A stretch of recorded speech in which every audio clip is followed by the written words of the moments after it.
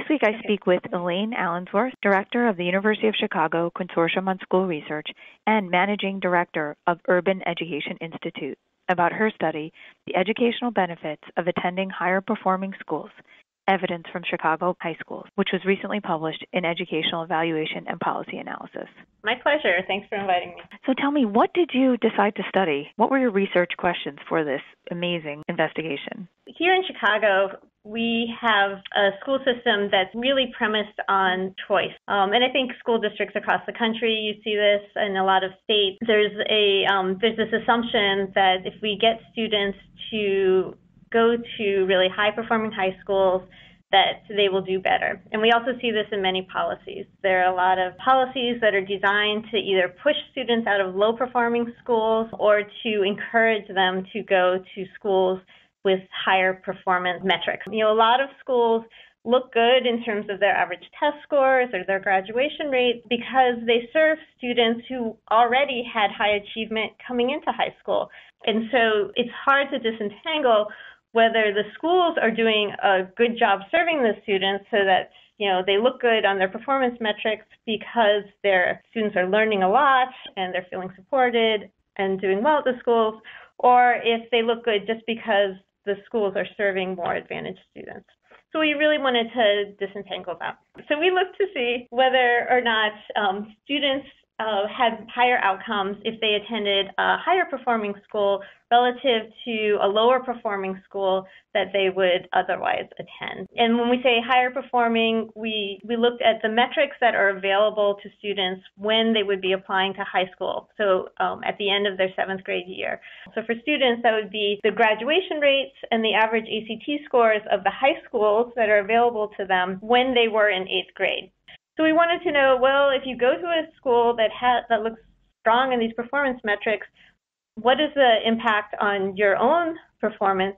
And we wanted to look not just at academic performance, but also on the quality of school experiences. We wanted to look beyond test scores. Almost all of the research that's out there is based on test scores, but you know, there's so much more that matters to parents and students than performance on tests. We know that whether or not students get suspended is an, an issue that's important for students. And certainly whether students feel safe whether they peers that they like whether they feel like they belong in school all of those are outcomes that students and families care about. And we thought we really should look at those as well as test scores because that's what matters to families. And what did you find? So we found that the effects of attending a higher performing school really depend on the contrast that's being made and then also on the outcome. So we did basically three kinds of contrasts. One is looking at the effects of getting into a selective school. So that's a school that selects students based on their prior academic performance versus any other kind of school. What, what we found is there were no academic benefits for students for getting into these schools. They have really high average test scores and high graduation rates because they only select students who already had very high achievement when they were in the middle grade. So no academic benefits for those schools. But we did find there were benefits in terms of students' experience of the climate of the school, so that students, you know, felt safer. They felt like their um, their peers were more academically oriented. They felt like they had better relationships with teachers. So that was one contrast, looking at getting into a selective school. Another was getting out of a very low performing school into, say, a mid tier kind of school. There again, we did not see a lot of academic benefits or many benefits in terms of climate. We did see that students were slightly more likely to graduate high school, and there were some college benefits, again, very small, but there were some benefits that way, but no benefits in terms of, say, test scores or grades or anything like that. Where we did see big differences were for students who um, went to high performing non selective schools versus uh, less high performing non selective schools. Those students actually saw benefits on multiple outcomes, including test scores, as well as uh, climate. And, you know, if a school is non selective and has high outcomes, it could be because, you know, the reason they look good is because they're actually serving students well. They might be um, adding value there. And so we did see some benefits.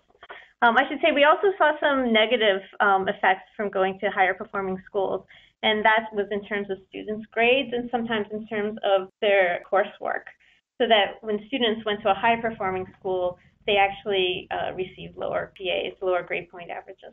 Now, you had a huge data set for this because you looked at student achievement data from 2008 to 2011, and then you also had um, access to other data that you were analyzing, like suspension rates and student surveys, as well as course grades and um, application to high schools. Mm-hmm. So that's what I, I mean. It's an amazing set of data that you had to look at. Yeah. Can you explain how, and in your paper you reference this, how you dealt with selection bias and why was it important for you to control for the bias? Yeah, really important in a study like this to be able to address selection bias because it's really hard to disentangle the extent to which students have higher outcomes because they went to a school that helps their outcomes, you know, helps them do better in school, or if they had other factors that have nothing to do with their school that led them to have higher achievements, like you know they had higher achievement before high school or they have more supportive families. So one way that people deal with selection bias when studying school effects is to find schools where there's say a cutoff to get into the school and then compare students who are just above the cutoff to students who are just below the cutoff. Another thing that people often do is lottery studies. So they'll, you know, they'll look at all the students that apply to a high performing school and they'll compare students who won the lottery to get into that school to students who did not win the lottery. And there you don't have selection bias because all those students applied to the school. The problem is that only schools that you know are seen as successful schools are schools that have enough students applying that they can run a lottery. So the selection bias comes at the end of selecting the schools that you're going to include in your study. Because if you only include schools that are successful schools and that are so successful that you know they have more students that want to go there than they have slots, that means that you know your estimates are again biased because you're only looking at successful schools. So we wanted to look at all schools and all students. And so what we can do is we can compare students that look exactly the same in the middle grade years but that went to different schools.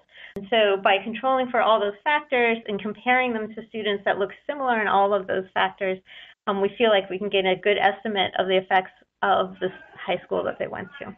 So, what implications does your research have for state and district policymakers?